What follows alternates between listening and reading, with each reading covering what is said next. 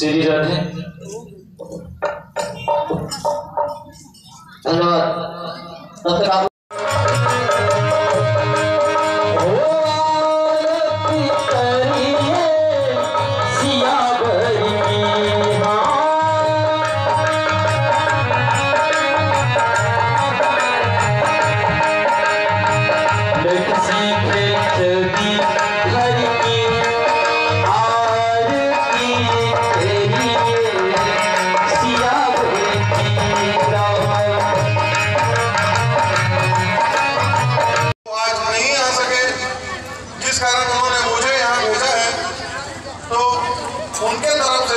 मैं सभी को तहे दिल से धन्यवाद देता हूँ और आगे यही उम्मीद करता हूँ कि इस पावन धारा पे जो भी सहयोग हमसे लगेगा, हम देने के लिए 24 घंटा आगे रहेंगे।